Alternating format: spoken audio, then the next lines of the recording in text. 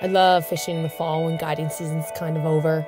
You know, there's a few tailing trips coming in, but it's the opportunity for me to go fishing for myself, to wander all the creek beds, do some new exploring, find new pools, see where the bull trout are hiding out, and it gives me a chance to kind of download from a really busy season.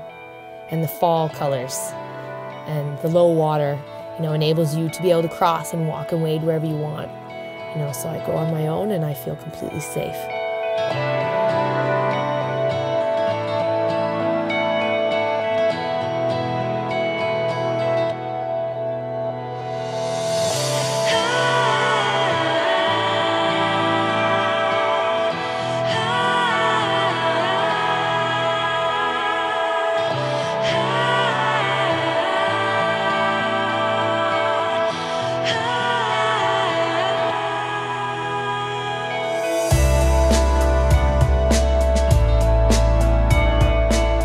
Never know what you're going to find when you walk into some of these places. You park your car, you get out, put your bear spray on, and you start walking. You walk in, see wolf prints, you see bear prints, fresh bear scat. You know, around every corner, you're kind of wondering if you're going to run into something. Most of the time, they leave you alone. You're on your own.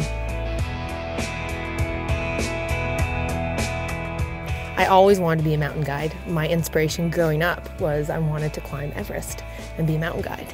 And I came through Fernie and saw the river and the mountains and realized that this is where I want to be and found my passion in fly fishing. And since then, I have been an addicted fly fisherman in the Elk Valley, chasing bull trout and cutthroat.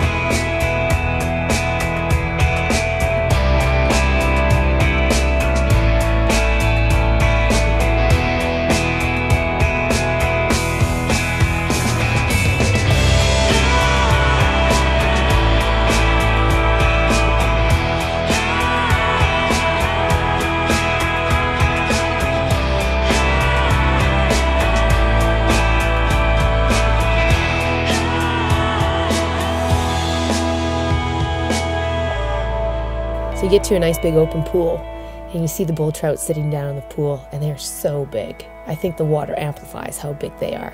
You look down and you see more than one, you see two, you see three, and then you see them all stacked up and the size of them. And to be privileged enough to swing a fly through with a chance of hooking one of them, wow, pretty incredible.